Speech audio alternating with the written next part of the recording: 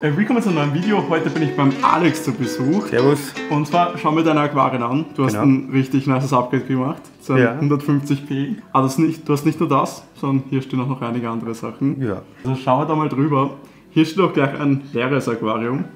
Ja, das ist der, Vor Also- der Vorgänger vom 150p, Ja. ähm, den ich zwar ursprünglich mal entsorgen wollte oder halt zumindest raus aus der Einlagern. Wohnung, einlagern, was, Ja. was auch immer, aber Jetzt wird es noch möglicherweise wird es doch was anderes.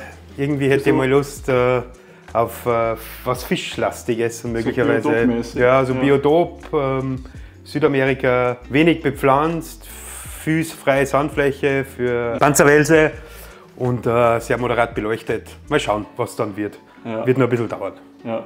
Das ist das alte 120p mit 45 x 45. Ja, 1,20 genau. Genau. Und der Unterschrank ist ja selbst gebaut. Genau. Also, du machst dir da selbst einiges aus Holz Ja, genau. und baust da einiges. Ja. So wie das, was da drüben steht. Und zwar hier ein Wabikusa auf so einem Wabikusa-Board, die du baust, die es auch immer wieder mal bei Liquid Nature gibt. Genau, die hat es äh, eher zeitlang immer bei Liquid Nature gegeben. Aktuell nicht so, liegt vor allem auch daran, dass ich nicht so viel Zeit habe aktuell zum Bauen.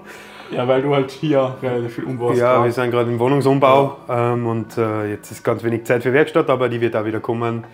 Ähm, ja, Aber falls wer Interesse hat, kann man dich auch gerne anschreiben, auch irgendwie Sonderwünsche, so ein sehr gern. Wabikusa-Board. Sehr gern. Sonderwünsche, Instagram, Unterschränke, was auch immer. Gerne Ja. anschreiben. Wird sie, wird sie ausgehen.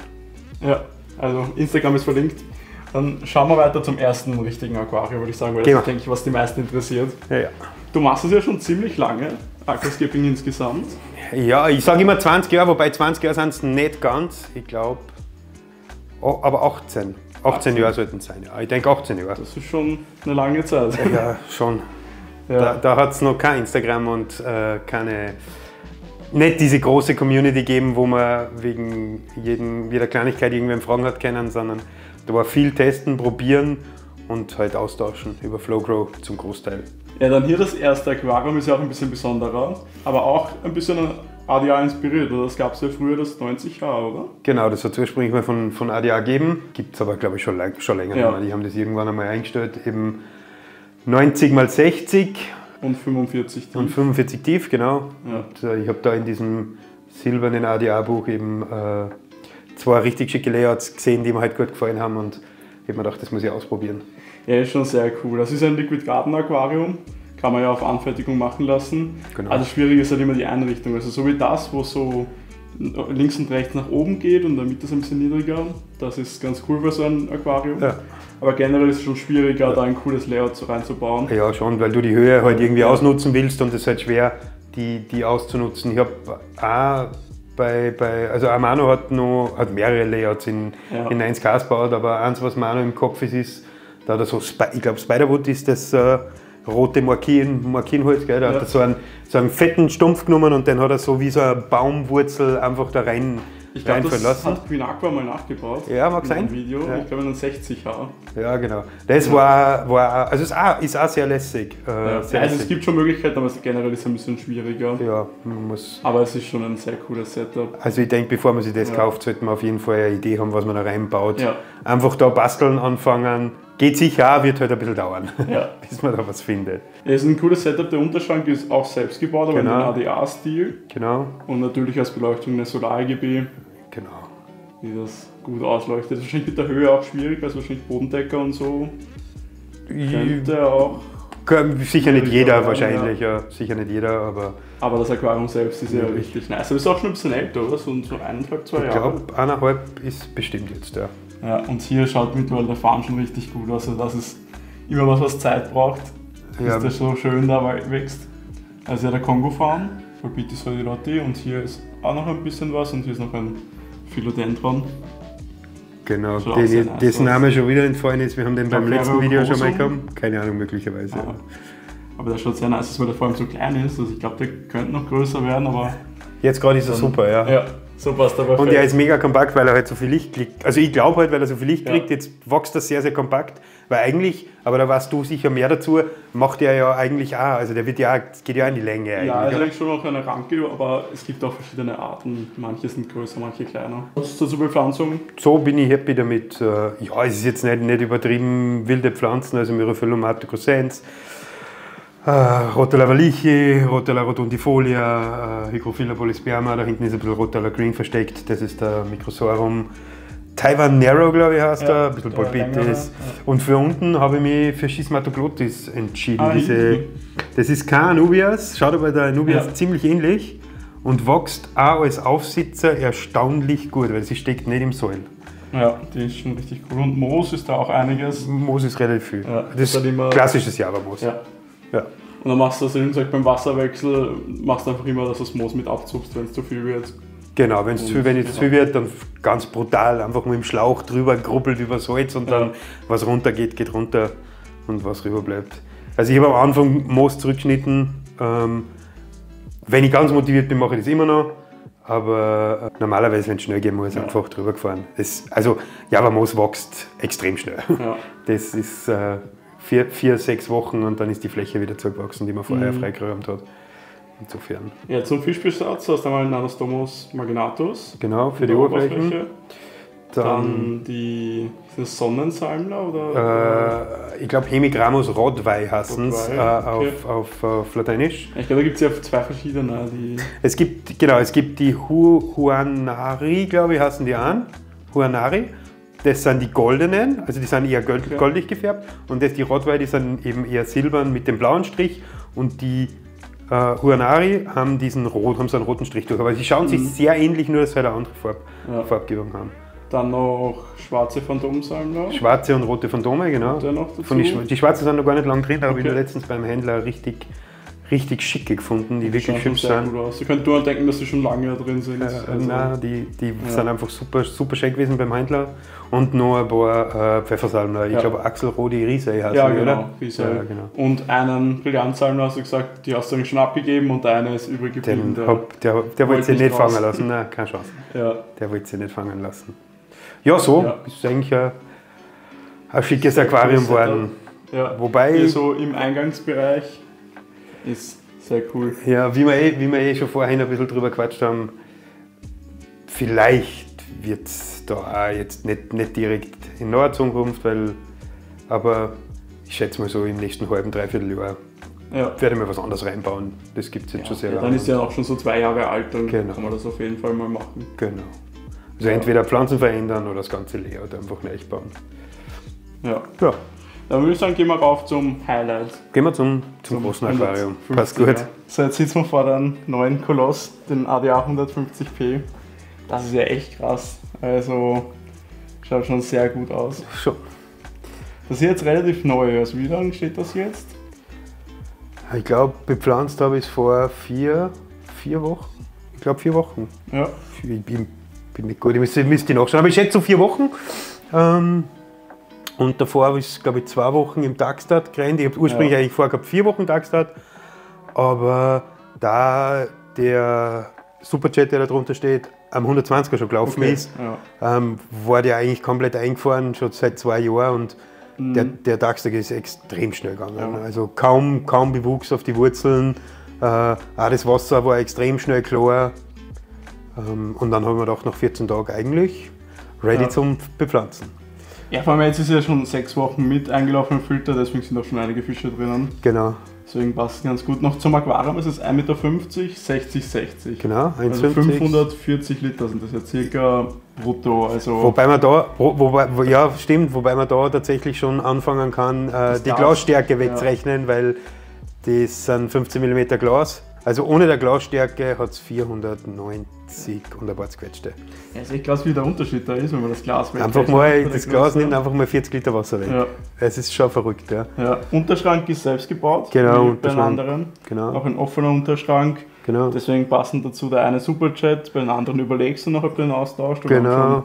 Also, über andere Sachen gesprochen, aber genau, möglicherweise halt ein zweiter Superjet oder wenn kein zweiter Superjet, dann generell zwei andere füttern. Ja. Dann muss man den Superjet halt woanders hin Ja. oder was auch immer. Ähm, zur Beleuchtung auch wieder zwei Solar-IGBs, Genau. wie es passend ist. Unten ein ADA Lightscreen, genau. das jetzt ein bisschen runtergedimmt, bei dir gefällt das besser, wenn es ein bisschen dunkler Genau, ist im ich finde momentan, momentan schon, ich glaube, wenn dann die, die Hintergrundbepflanzung einfach höher Ja. ist und, und dichter ist, dann kann man den auch wieder ein bisschen hochfahren. Aber aktuell nimmt er den Kontrast einfach raus. Mhm. Wenn, du, wenn du von hinten so helles Licht kriegst, Ja. dann stimmt der Kontrast zu den Fischen und, und ich habe schon überlegt, ob ich ihn komplett weg tue für, für jetzt Mhm. aktuell. Aber ich war noch zu faul dazu. Bevor wir noch weiter aufs Aquarium eingehen, würde ich mal darüber sprechen, wie wir uns kennengelernt haben. Weil wir sind kennengelernt so richtig erst später, aber du warst einer der ersten, der mich so auf Instagram angeschrieben hat. Das war vor sechs Jahren jetzt circa. Aha. Wir haben da vorher schon kurz drüber geredet, deswegen weißt du das schon mal, du hast das nicht mehr so im Kopf. Nein, ich hatte das nicht, Ja. ich habe das nicht mehr so im Kopf gehabt. Ich weiß Ja. nur, vor sechs Jahren hat es ja Liquid Nature noch nicht gegeben. Ja, da war Liquid Nature Genau. noch nicht so am Start und du hast mich da angeschrieben, weil ich habe da gerade auch angefangen gehabt mit Instagram und habe glaube ich so 300, 400 Abonnenten gehabt. Ja, Und du hast mich angeschrieben, dass ihr eine WhatsApp-Gruppe habt, eben mit Stefan, Philipp und Genau. noch ein paar Leuten. genau. Und da hast du mich gefragt, ob ich dazukommen will und ich habe gesagt, ja, gern. Und dann ein paar Monate später war dann auch mal so ein erster oder ein Stammtisch bei Philipp zu Hause in der WG. Aber Philipp, ja stimmt, Ja, beim Philipp, da hat er, da hat er noch Ja. das kleine Zimmer gehabt, das vollgestellt Ja. war mit Aquarien. Ja, ja. Da warst du nicht dabei, da war der Stefan und der Philipp und noch ein paar Leute. Und da war so der erste richtige Berührungspunkt mit Aquascaping, dass ich das in echt gesehen habe. Mhm. Weil bis dahin hatte ich zwei Aquarien und das war halt so der Anfang. Also war okay, aber jetzt nichts Besonderes. Wie jeder. Und dann stand beim Philipp halt das, also ein Diorama-Aquarium noch im Darkstart, das kannte ich auch nicht, dass da ein Aquarium steht ohne Licht und ohne Pflanzen, Ja. mit richtig viel kleinen Bäumen drinnen, richtig nice. Und damit hat das alles so angefangen, dass ich halt durch die Gruppe und durch die WhatsApp-Gruppe, die wir hatten, uns immer wieder ausgetauscht haben. Ja. Dann hat Philipp und ähm, Stefan auch mit Liquid Nature gestartet. Und ich glaube, wir haben uns dann wahrscheinlich erst irgendwann bei Liquid Nature getroffen, glaube ich, bei den ersten Stammtischen oder sowas, Wirklich. dabei Aber ich kann mich noch an dein erstes Layout Ja. erinnern. Das war so ein 60 cm Ja. Aquarium, eh wie bei jedem. Ja, es war ein gebrauchtes Aquarium, aber gleich mit CO2 und allen, aber halt mit so Lavasteinen. Genau. Ich wollte so einen die Bogen, so Lavasteine. eine Brücke bauen, aber die ist am ersten Tag gleich ähm, zusammengefallen und dann hatte ich so eine Schräge. Und Aber die Pflanzen haben Ja. gar nicht schlecht ausgeschaut da drin. Ja, später dann. Am Anfang Mhm. war es nicht so gut, weil da hatte ich auch Utricularia versucht Naja. und die ist halt gleich geschmolzen und dachte ich mir, weil ich glaube, die war da noch als Medium eingestuft oder so. Ich glaube, mittlerweile ist das die Advanced. Weil ich, ich bilde mir ein, dass ich halt im Internet geschaut habe und da stand, dass die gar nicht so schwer ist oder Wahrscheinlich stand, dass sie halt nicht viel Nährstoffe braucht.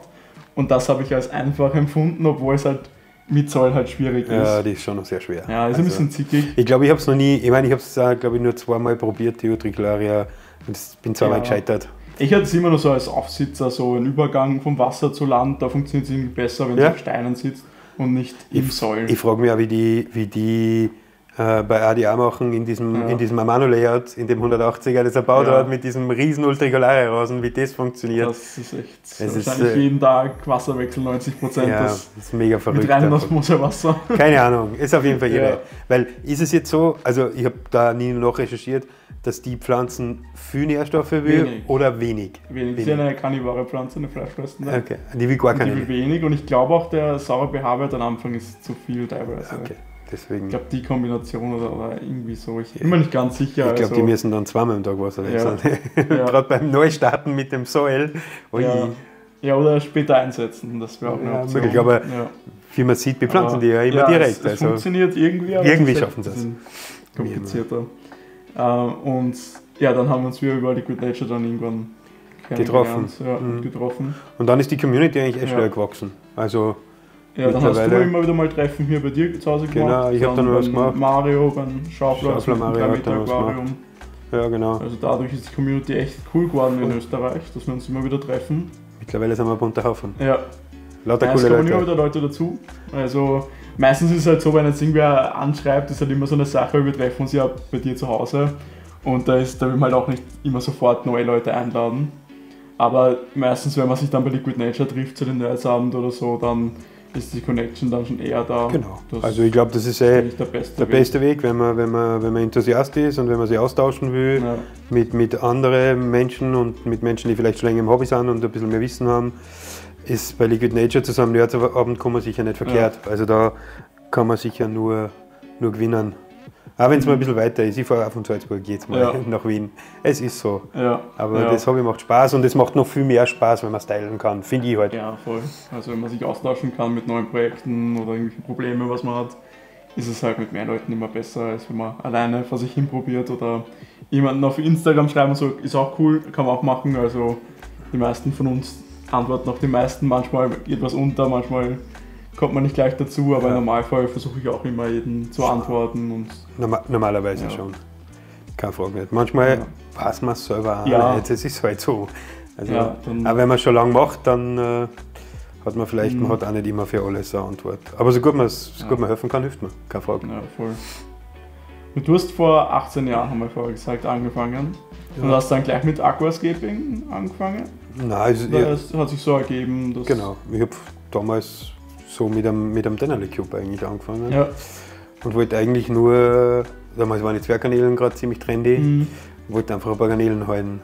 Und bin dann im Internet über Recherche, wie, wie ich glaube jeder, der ins Aquascaping Hobby gestolpert ist, halt äh, zu Amano gekommen, irgendwann die ersten Mhm. Bilder gesehen und sofort infiziert und dann, dann war es ein 60er und dann hat man rumprobiert und dann hat man, wollte man sich immer alle zeigen und, und irgendwie Feedback kriegen und ich konnte mir vorstellen, dass der ein oder andere schon ziemlich genervt war, gerade auf Flowgrow war man Ja, dann halt ja viel noch. unterwegs und hat immer Fotos eingestellt und man hat dann irgendwie Ja. dann auch ab und zu schon mal keine Antworten mehr gekriegt, weil man zu viele Fotos. Aber man wollte halt irgendwie Feedback haben.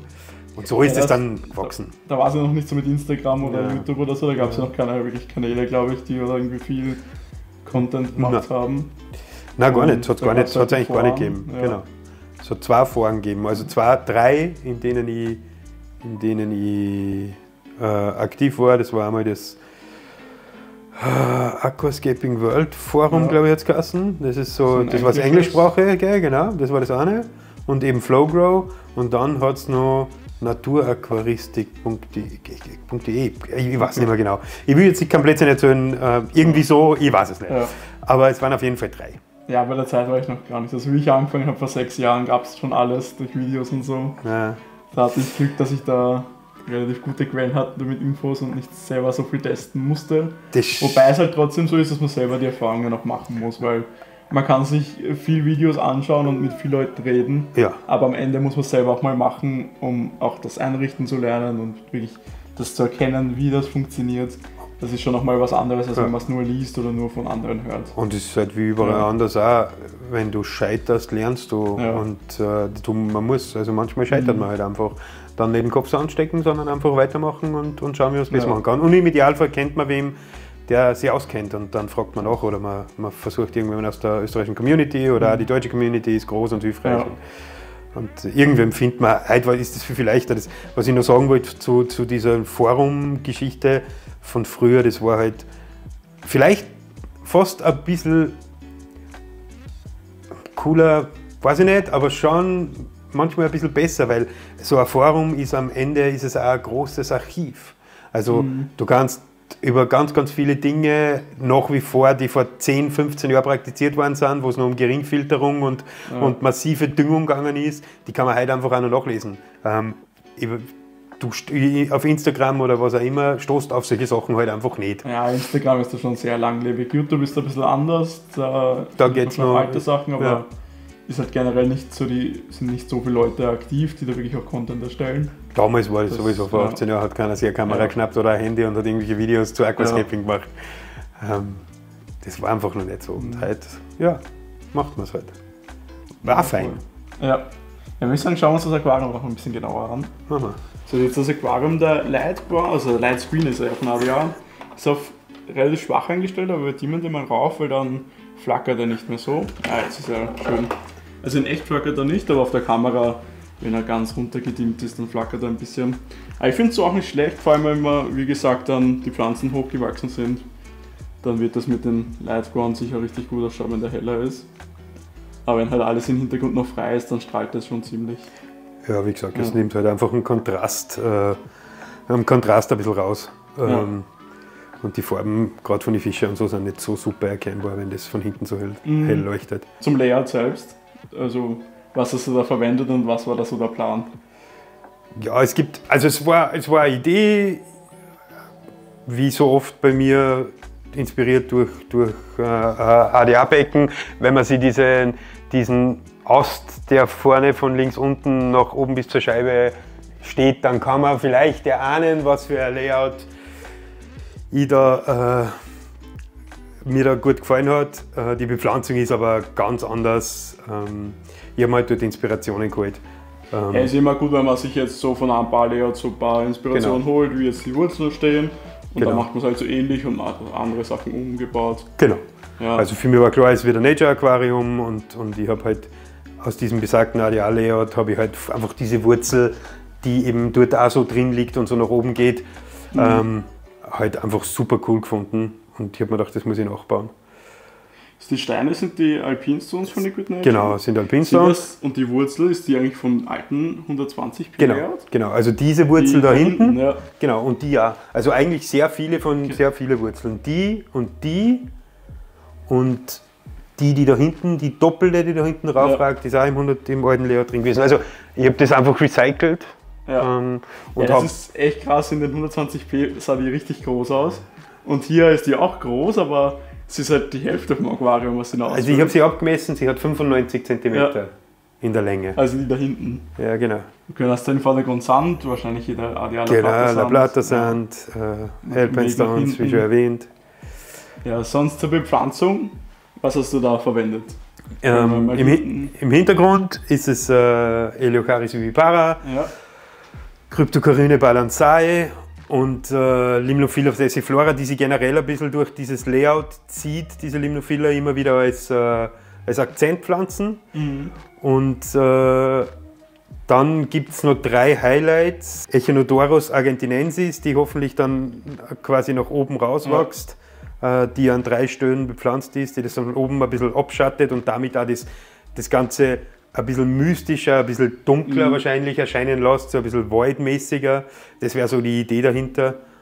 Und Ähm, das Ziel ist ja schon, dass die Seiten jetzt dann komplett eher zu sind und halt hauptsächlich der Weg in die Mitte reingeht. genau, das wäre so die Ja, Idee. so dass das dann das Layout ist, weil jetzt ist halt noch so, dass es halt ziemlich ähm, voll in der Mitte wirkt und seitlich noch relativ frei ist. Mhm. Aber wenn es halt dann mit Pflanzen voll ist, dann Und ist es dann wieder anders. genau, auch die Fahne, die halt aktuell noch relativ klein sind. Ähm, der Borbitis fahren, dann ist hier auch der Taiwan Nero. Nero, genau. Dann ist dieser Mini-Gnome oder wie, Ja. wie hast du letzt vorhin gesagt? Gnome, keine Ahnung. Ja, auf jeden Fall. Eine kleiner Art, Mikrosorum-Art und vorn eben zwischen den Spalten ein bisschen trident. Also Mikrosorum äh, sp trident. Dann Moos. Was ist das für ein Moos. Ähm, der Philipp, ich habe das im, im 120er, im Philipp sein 120er Layout gesehen. Ich glaube, das haben wir jetzt als Fancy. Fancy Willow Moos, Ja. genau. Also ich habe dem Philipp gesagt, ich habe es in einem Reel gesehen und habe dem Philipp ein WhatsApp geschrieben, habe ich gesagt, ich brauche das Moos für mein, für mein neues Layout und ich habe gesehen, du hast eh gerade so viel im 120er, rupf Ja. was raus und schick mir was. Und ich weiß nicht, wo, ich glaube, das weiß keiner so richtig, wo das genau herkam. Aber es ist so eine Mischung aus, ähm, aus Pillow? Pillow und, Genau. und Und, Christmas oder ja, ich weiß ich nicht, aber ich habe es halt in dem 120er gesehen und es hat für mich im 120er wie Pillow ausgeschaut. Und Ja. ich schreibe dem Philipp dann, hey, ich habe gesehen, du hast voll viel Pillow-Moos im 120er, schick mir was davon. Und er sagt, nein, das ist kein Pillow, es ist das Fancy Willow. Keine Ahnung, eine neue Art ist geboren. Aber es ist cool, das wächst sich ja auch selbst fest. Das hat ja auch so kleine Haftwurzeln, glaube ich, soweit ich weiß. Genau, also, Also, ich habe es da jetzt auch, geklebt, oder? ich hab's geklebt Ja. und aber jetzt auch schon mal zurückgeschnitten, weil weil es schon relativ äh, stark, also das ist in den letzten drei Wochen hat das richtig angeschoben und war einfach schon mal zum, zum Zurückschneiden. Mhm. Ja. Also gerade da sieht man von den Klebestellen eigentlich fast gar Ja. nichts mehr oder so gut wie immer. Da sieht man es noch ein bisschen da drüben, ähm, aber ja, Ja, sonst auch zu Echinodoros. Eine sitzt ja hier, die sieht man, die ist Genau. dann circa hier was raus. die wird, genau, die kommt da, eine sitzt noch da hinten, die wird dann Ja. da in dem Bereich und die letzte ist da herüben, so ein bisschen Ja. da in dem Bereich. Und so schön aufteilt, eine ein bisschen weiter nach vorn, dann hast du da Mhm. wieder so eine, eine Tiefenverschiebung. Also generell habe ich versucht, so irgendwie Linien quasi zu Ja. bauen, dass, dass sich das Layout so bewegt und so nach hinten geht. Also ich habe da zum Beispiel äh, Ludwigia lacustris eingesetzt und ist hier, hier. Genau, und bin davon ausgegangen, dass die Führung von dieser Pflanze dann irgendwo da verschwindet und da in dem Bereich wieder rauskommt. Ja, hier ist die dann auch wieder. Dann hier kann man auch gleich sehen einen Lotus. Oder eine, ja, ein Lotus, der Schwimmblätter hat. Genau, Das ist ja irgendein Teich. das ist irgendein Teich. Teichlotus, keine Ahnung, ich weiß auch nicht mehr, Ja. wie er heißt. Aber er macht schöne Schwimmblätter. Aktuell sind die noch nicht so ganz fit. Ja. Ähm, der, hat, der hat halt auch, muss erst einmal gescheit anwurzeln und ein bisschen mit dem Säulen in Kontakt kommen und dann, Mhm. dann wird der sicher hübschere Blätter schieben. ja. Sonst dann noch zum Mittelgrund ein paar Kryptokurinen. Genau. Bereiche. Genau, hinten. Helantium Denello. Green, das ist die Compact, das ist Helantium Denello Green. Da vor dieser äh, Echinodoras sitzt äh, Flamingo, die habe ich noch Ah, über gehabt, die habe ich noch eingesetzt. Da hinten ist irgendwo Venti Braun, da sieht man gar nicht hin, das ist versteckt unter dem Layout. Ja. Also ja auch Hardscape. Und hier ist auch unterm Hardscape, wenn man da reinfilmt, ist auch noch äh, Venti Green und Venti Braun, so eine Mischung drinnen. Ja, so im Schatten. Und da hinten ist eben noch äh, Helantium Tenellum Quadri- Quadricostatus, glaube ich, heißt sie ja, genau. Die sitzt da dreimal. Also zweimal da auf der Seite und einmal da auf der Seite. Ja, auch natürlich wieder das meiste halt ausgeglichen, links und rechts ähnliche Pflanzen. Genau. Das macht es halt immer natürlicher, wenn man jetzt auf beiden Seiten dieselbe Pflanze hat. Kann auf einer Seite mehr sein, auf der anderen weniger. Aber es ist immer schöner, als wenn jetzt auf der einen Seite zum Beispiel nur rote und auf der anderen nur grüne wären. Schaut es halt immer ziemlich unnatürlich aus. Ja, wenn Sie die Sachen wiederholen, mehrmals im Aquarium, dann wirkt es viel, viel natürlicher. Ja. Als wenn du quasi Busch an Busch reißt und, und, und irgendwie keine, keine Zusammengehörigkeit da ist. Mhm. Ja, voll. Zum Fischbesatz ist jetzt erstmal zum Teil auch Fische, was du noch hattest. Genau, Na, zum Teil fünf Gürtelbarben waren noch da, die habe ich wieder eingesetzt, weil ich den Fisch einfach super. Also ich finde, es ist ein mega unscheinbarer Fisch, der nur bei, bei genauerer Betrachtung einfach, da wird er dann hübsch. Ja. Ähm, und er verliert sie aber auch. Zwischen dem roten Holz teilweise verliert er sie Mhm. einfach. Man sieht ihn dann wieder nicht und irgendwann tritt er wieder in Erscheinung. Passt da gut rein. Dann habe ich mich entschieden für diese äh, Brombeersalmler. Ähm, ich weiß gar nicht, wie die im Lateinischen heißen. Ja, Ähm, und, und für Rotflossen Glassalmler Ja, das ähm, ist auch richtig cool. für die Oberfläche. Ja, wir haben da diese weißen Filamente an den Afterflossen. Ich habe die so cool gefunden, mir in Verbindung mit dem roten Schwanz. Mhm. Und für die Oberfläche dann noch äh, Nanostamos, äh, Blödsinn, Nanostamos sage ich, äh, Boraras maculata.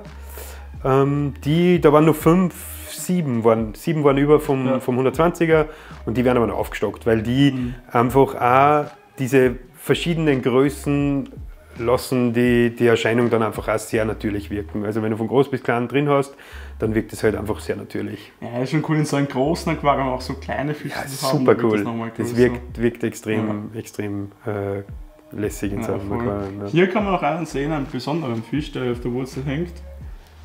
Das, was war das nochmal? Ein Nadelwels. Ein Nadelwels. Genau. Ja, sonst Garnelen, also Sulawesinas Garnelen. Sulawesi, Sulawesi, Amano, genau. Also Und, und, und Ja, klassisch, ganz klassisch und Otto Zünklos. In einer bisschen einer größeren Menge. Hast, hattest, oder? Genau, was ich noch gehabt habe und, und, und halt Amanos ein bisschen dazu gekauft und Ottos halt auch noch ein paar besorgt, weil waren aus dem 120er auch zu wenig. Ja, zuerst noch Filter ausschalten. Futter hast du schon vorbereitet, diesmal Frostfutter. Genau, Frostfutter, Artemia, das finden alle Fische geil. Mal schauen. Da fliegt, ist er schon unterwegs. Ja, der ist schon cool. Jetzt haben sie es gemerkt, dass das Futter da ist. Ja. Jetzt geht's rund.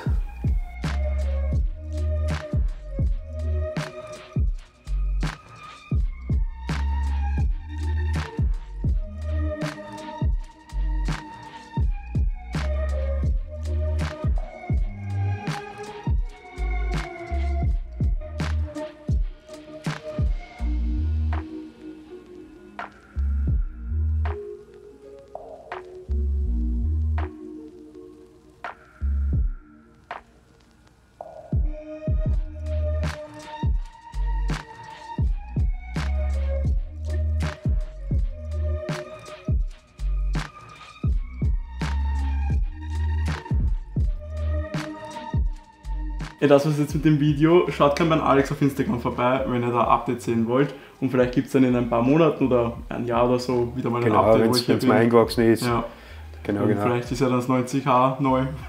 Genau, uns 120 120, steht. vielleicht gibt es da Ja. dann ein, ein Biotop-Aquarium. Ja. Es wird sich sicher was tun. Also bei mir ist immer ein bisschen Ja, was genau. los, zum Aquaristik. danke für die Einladung. Sehr gern. Bis zum nächsten Mal. Bis zum nächsten Mal.